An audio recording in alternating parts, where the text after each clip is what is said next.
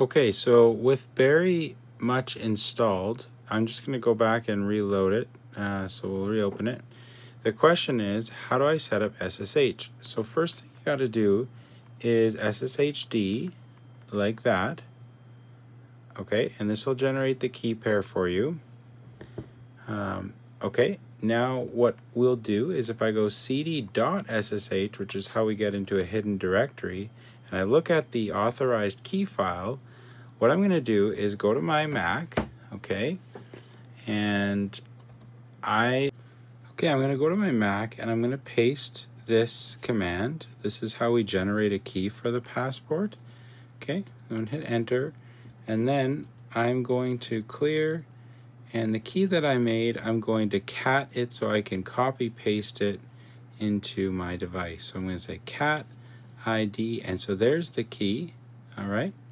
And so I'm going to take that key, and now I'm going to go into OWL files, the tool that I use to send files to my device, and I'm simply going to open up a text or create a new text file, open it with TextEdit, and then I'm going to uh, paste my key.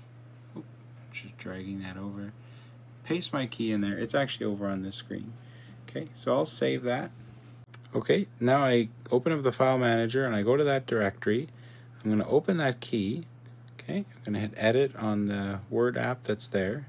So we copy that.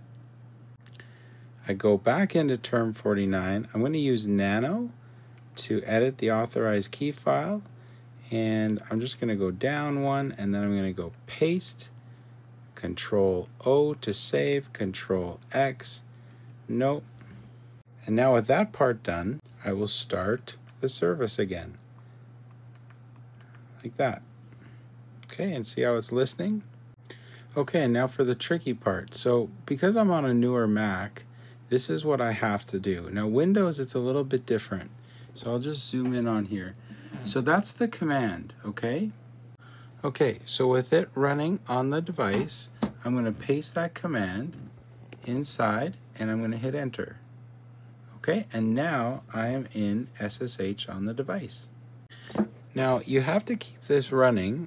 Obviously, if you hit, uh, you know, cancel here, it'll go back and then it closes the connection. Now, one thing that you can do is you can actually put that that command that I showed on the screen in the config file and then you can just call it by its host name and that's how you quickly connect from the shell. I'll recap these instructions in the description of the video.